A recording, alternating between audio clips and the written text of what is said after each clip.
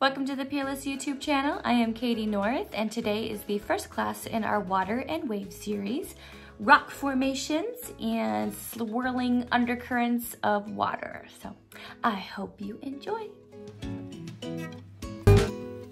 For your supplies, you will need Peerless watercolors, watercolor brush and paper, masking fluid, extra small detail brush, pencil, scissors, double-sided tape, and a white gel pen or a white highlight ink. And if you are new to Peerless, welcome. Uh, we are making our mini palette. So I'm actually cutting out little squares of the concentrated sheets from the watercolor packets and double-siding tape them to a palette. So once you have your setup all ready and your palette done, it is time to start sketching out our rocks. Uh, I don't have an outline uploaded for this. Honestly, I feel like everyone's are going to be a little bit different and it's going to look really awesome as they're different. Uh, with this painting, with how much water that we're doing, they look very nice if you do that tape around the edges with the watercolor tape.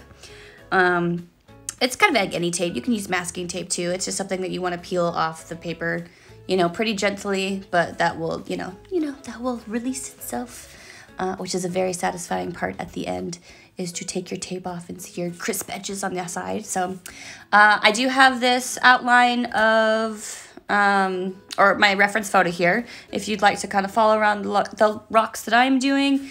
Um, but yeah, I just freehand it. I do bigger rocks and then smaller rocks and some clusters.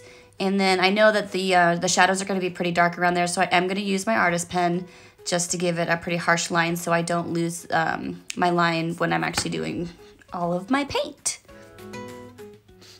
All right, and so now we are going to do our masking fluid. And so when you're thinking about the masking fluid, we're gonna be doing this painting in stages. So we're going to be putting down the deepest and the darkest blue for the darkest, like um, the, the deepest part of the ocean. But we want there to be like a separation between the undercurrents and the swirling paint that not paint but swirling um, currents around the rocks and like how the wave comes up and it hits the rocks and kind of swirls around but it's like underneath the surface. So once we outline our rocks with the masking fluid just because we know we want those to be completely separate and we're going to do that colored after um, we're going to add the masking fluid in the swirling kind of motions around the rocks the way the currents would move. So you can see now how I'm kind of like waving it and like kind of making it go in the same directions as that little coast of the of the rocks and then around in kind of a swirling pattern. Honestly, I feel like the more that you do of this, it looks so cool. Uh, like little swirls, little dots, um, even like little whirlpools, because this is going to be not the deepest area of the blue, but the next layer up, which is like you know, where the bubbles come around and there's come some little like, you know, oh, it just looks so cool. So little swirls, little dots, whirlpools, outlining the rocks and around the, the edges. And you could try different things. You could use like a toothpick. You could use uh, a tip of a brush, all different types of things. Right now I'm doing a bunch of little the tiny dots. And uh, yeah, definitely play along with it. There's no right or wrong way to do it. And, you know, all, all surfaces of water look so different too. So yeah. And also, as soon as you are done with the masking fluid, very, very important, you want the masking fluid to dry 100% before you start watercolor. And so now we are ready to start painting.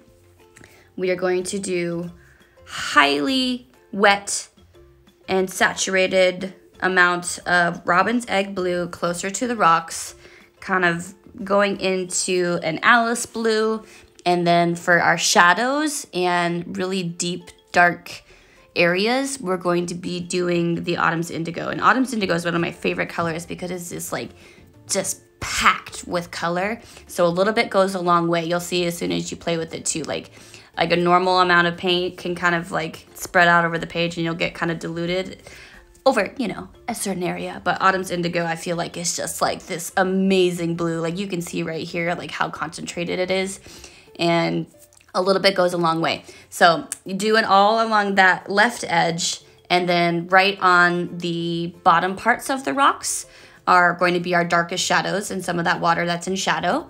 And then around the cluster of rocks gets a little bit of the autumn's indigo. And then while it's still wet and drying in certain areas, you can try doing like little dots and speckles of the autumn's indigo and letting the water kind of decide how it's going to dry on the page. And you can get really cool kind of like, you know, I don't even know, what do they look like? They look like little like snowflake kind of dots. Like we're here, like you do little dots. And when they fan out and let the water lets them dry and, and blend those colors together, you get some really nice organic and natural fades and depths. And maybe they look a little bit like coral. But I think it, it works really well and it transitions well between like how it dries for water. So yeah, so while you're doing this layer, and when you're happy with it, I want this one to be completely dry before you work on the next layer.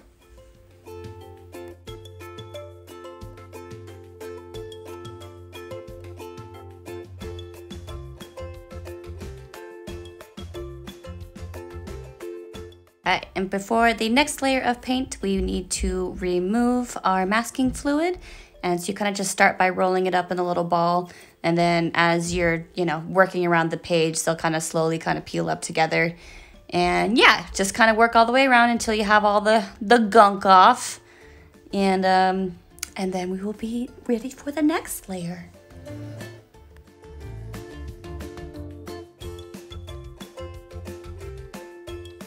So once we've got all that gunk off, we are going to be mixing Robin's Egg Blue and Alice Blue, and you want it fairly diluted, um, trying to translucent. And you're going to be doing your second layer of blue, which is mainly focusing around all of those under swirling currents, the swirling undercurrents that you did with the masking fluid. So now they are getting their pigment. So kind of, it's not quite the, their Robin's Egg, and it's not quite the, it's a little bit of the and you just make a little you know, softer, a little bit more translucent. And you're just going to be following all along your swirls that you made and putting a little bit of that blue. So when you're looking down, you know, above above the rocks and you see the really dark blue, which is the deeper the deepers, and then you kind of see where all of those swirling waters are mixing and there's undercurrents. Those are the parts we are painting now. And yeah, I just think it looks so pretty and then and then we will work on the next bit.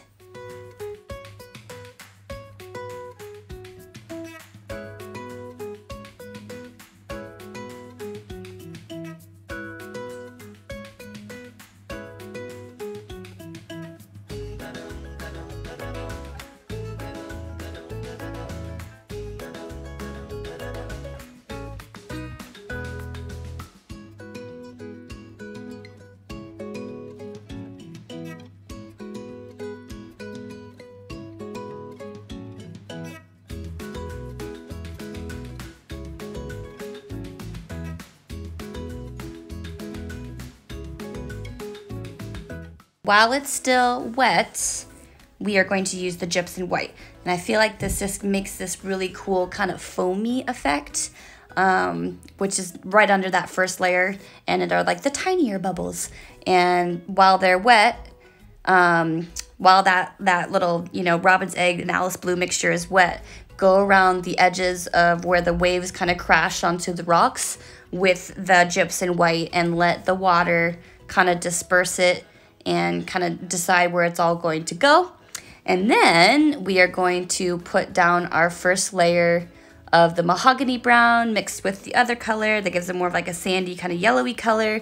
And again, still the wet on wet kind of technique. Um, just, you know, they're rocks. There's nothing too crazy about them, but um, I feel like once you get more of those shadows in the deeper areas, they really pop out. But for now, this is the first layer of the rocks. And you just want, you know, a few different colors but mainly just filling in all of um, your rock shapes. And if you're worried about the blue and the rocks touching, it would be a good idea to let those two layers, like the all of the blue and the gypsum white layer dry completely. Uh, if you can look on mine really closely, I've left this like skinny, skinny, skinny white outline. Um, that's just because I'm pretty comfortable with my paints and I know that I can leave that skinny line and not have them touch next to each other and they're not going to bleed. But if I were to accidentally get them too close, then they would bleed into one another, if that makes sense. But yeah, oh, little tips. I hope that helps.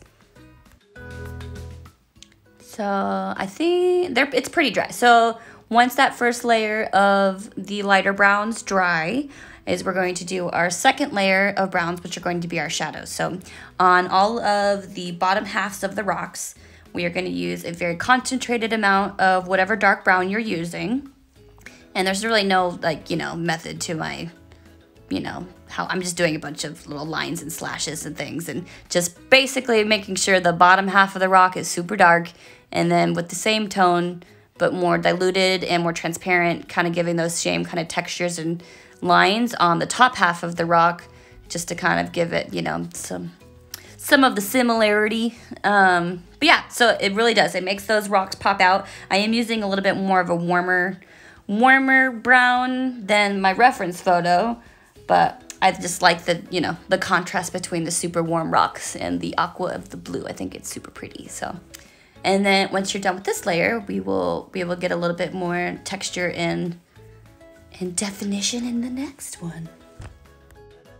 Oh, yeah, okay, and I should say, along with whatever brown you're using, I am mixing it with my Autumn's Indigo for an even darker. And you can see it almost looks black.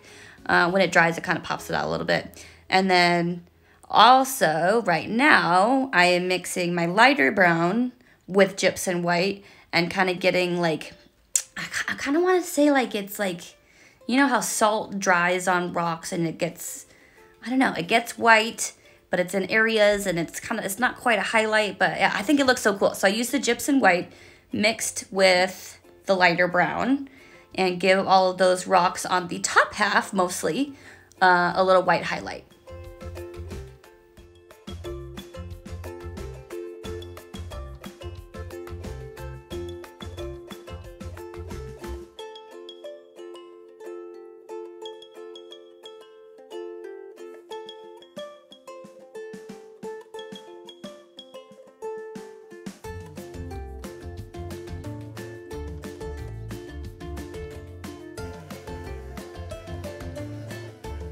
So now we are ready for the last layer of our water, which is the white caps and currents and bubbles and splashes with my favorite, again, the white highlight. Um, so yeah, I'm kind of just going around like whatever would be on top of the water, especially if you're like looking up over a cliff and looking down, those kind of where the, the sea, sea spray and where it swirls around the rock and it still has all of those bubbles. Um, and I also feel like don't do it exactly on your other on your undercurrents. Do it kind of almost in like the the different areas, and then you'll be able to see the the difference between the white highlights on the top and then undercurrents have like almost their own swirling pattern, which I think look kind of cool too. So and a little bit more white highlights on the rocks, and uh, yeah, this is pretty close to the end. So I hope you enjoyed it.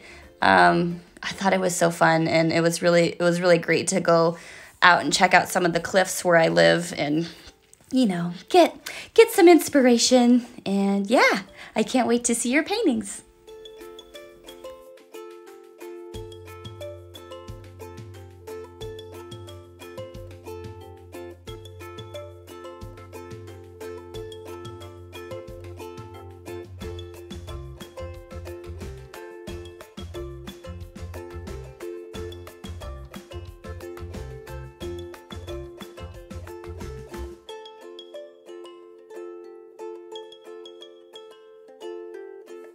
All right, and that is it. I will add my completed painting photo and one of photos from the one place close to my house where I got my ideas, and that's it.